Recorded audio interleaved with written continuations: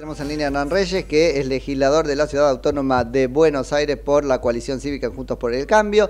Hola Hernán, Nico Yacoy en Ecomedios, buen día, gracias por atendernos. Nico, buenos días, ¿cómo estás? Todo bien, ¿escrutando? ¿Estás escrutando? Estamos, sí, mira, tío, situación, eh, Salón Dorado, legislatura. Ah, qué lindo. 500 personas, eh, justicia electoral, Servini y Curía. Ajá. Miles de urnas porque se empieza hoy el escrutinio definitivo de la ciudad, si bien no hay balotaje okay. por la renuncia de Santoro, sí todavía queda contar los votos legisladores y hay discusiones sobre, sobre algunas posiciones. Así que en eso estamos. Che, lo que tenés que eh, hacer es estar ahí con el ojo largo, este, un poco, eh, ¿qué, qué? Decidiendo las impugnaciones, ¿qué pasa con eso?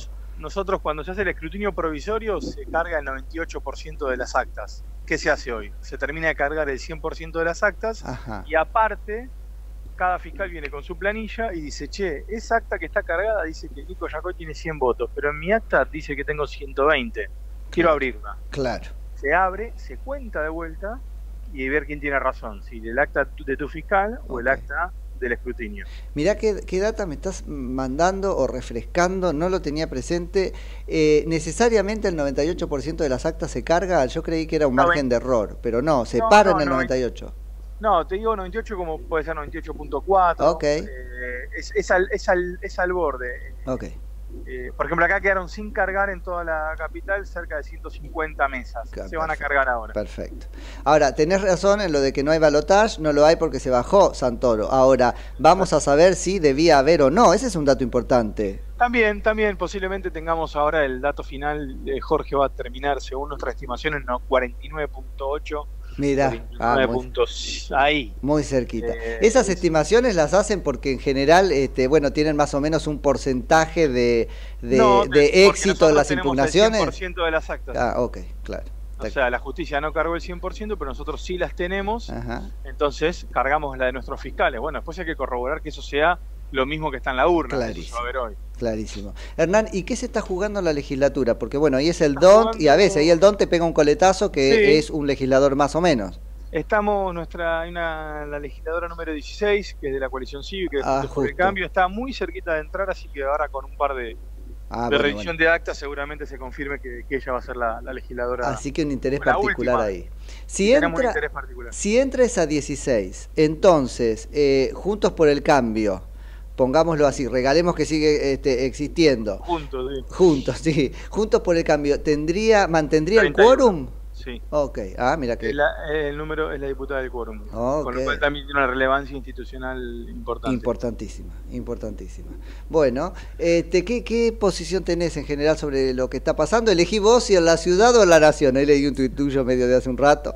Eh, no, bueno, en la nación nosotros fijamos postura, no no vamos a, apoyar ni a Massa ni a Milei.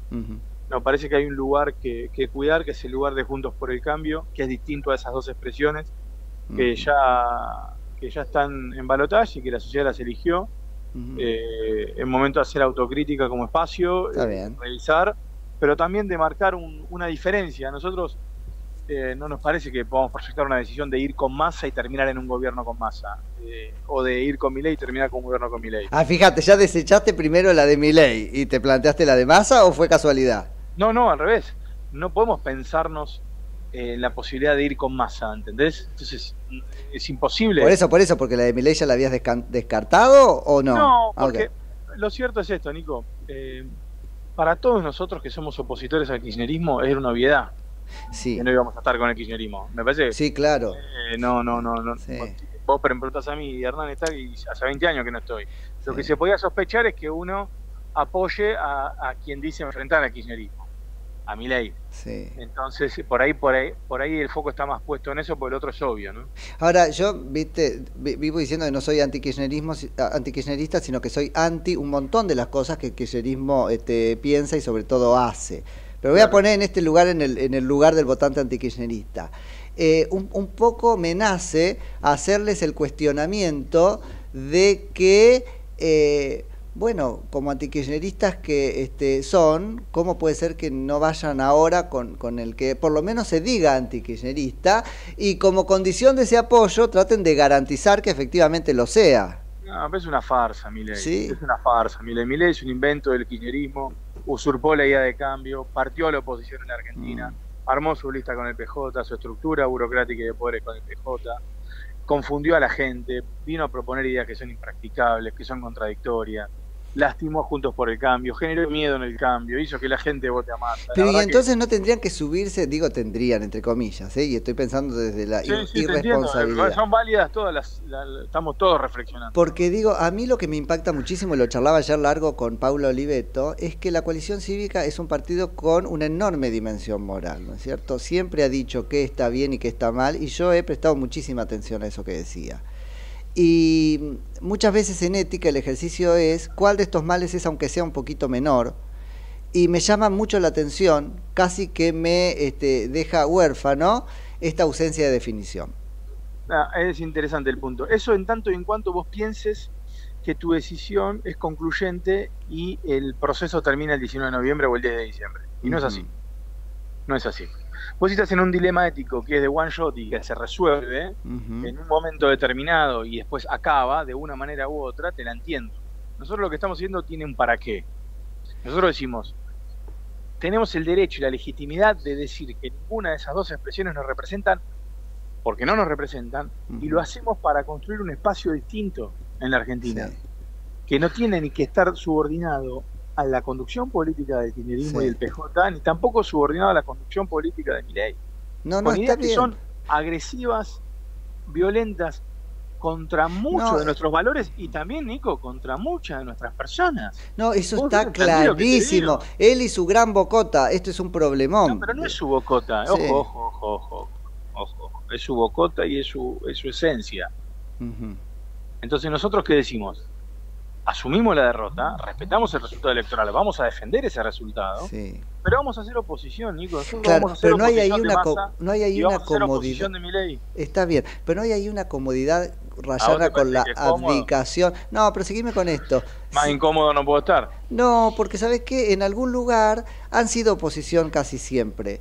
Y entonces vos sabés que yo lo temía, digo, no vaya a ser que Juntos por el Cambio esté, aunque sea en el inconsciente, optando por quedarse en, la comodidad de la oposición que conoce.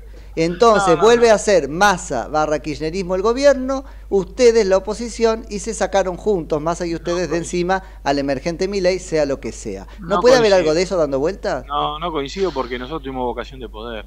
Mm. Mira, nosotros resistimos al kirchnerismo cuando el PRO era un partido local y el radicalismo era transversal al kirchnerismo. esto fue así, esto fue así. Hasta el 2015 que volvimos a armar el, bipartidismo en la Argentina. Y le disputamos el poder al PJ y se lo ganamos.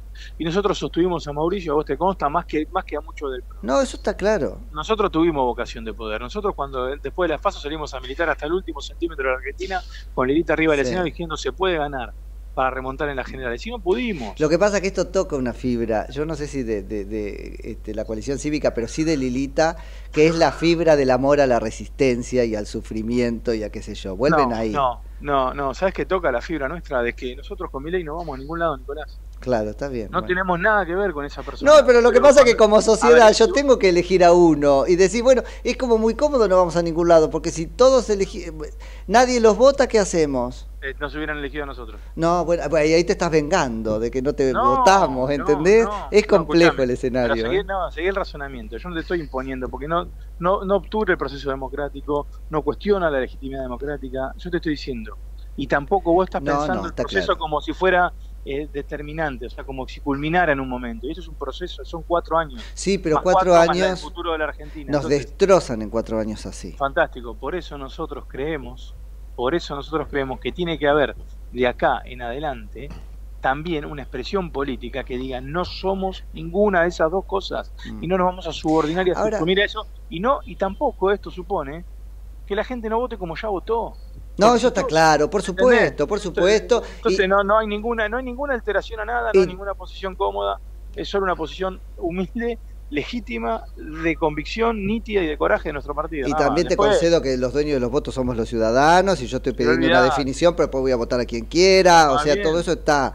Pero bueno. Y aun cuando no, y aun cuando votes a mi ley o cuando votes a Massa, sabe que en el futuro vas a valorar la existencia de un espacio político que haya dicho, miren, nosotros no somos parte de ninguna de esas dos opciones y no vamos a validar ninguna de esas opciones. Te va a servir a vos aún en esa continuidad. Bueno, espero y lo vamos a charlar, este, si Dios quiere, cuando suceda. Sí, tengo dos cositas sobre eso. Uno es, eh, ¿sos consciente de que algo de autoridad pierde con esta posición, aunque sea brillante desde el punto de vista no táctico, sino estratégico, y yo no lo entiendo? Es decir, en el momento donde como dirigente algo eh, tienen que decir, lo que dicen es muy parecido a, a nada, a no jugarse en algún momento... No coincido para nada. Ok, bueno, yo lo que te digo es... Que hace una lectura equivocada. Bueno, ojo, ojo Hernán, porque de este lado puede estar pasándonos eso.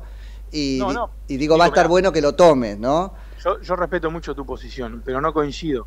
Eh, eso no significa ni que yo tenga la bola mágica de representación de la gente, ni que tampoco la tengas vos. No, tal cual, totalmente. totalmente. Lo, nuestro, lo nuestro, al contrario, es una posición difícil, es incómoda, no es tibia, es, de corajuda, es decir, che, nosotros estamos acá parados y te lo digo con la mano de corazón. Nosotros está perfecto. No, tenemos nada que ver con masa, a ver si vos me entendés. No, eso está lo claro. combatimos históricamente. Pero... No nos van a llevar a un gobierno de unidad nacional. Y no podemos ir con una persona que usurpó la idea de cambio desde un lugar violento y de fractura, antidemocrático. Ahora, dijo barbaridad. No vamos a ir ahí, Nicolás. Sí, eso está claro. No, no, te enojes, no te enojes, pero lo planteo desde el lugar de este usurpó. Y también lo dejaron tomar. Pucha, la cantidad de macanas que se mandó a la oposición. no puedo creer de acuerdo con vos, pero eso es para otra. Eso es más largo y estoy por abrir uno. No, sí, tal cual. Y te dejo con, e, no, te dejo con eso. Pero una cosa más. Yo les banco la neutralidad, suponete que nos la digan. Ahora, ¿cómo garantizan ustedes desde la coalición cívica que sus socios radicales, que este, según pinta la cosa, van a imponer la neutralidad, sean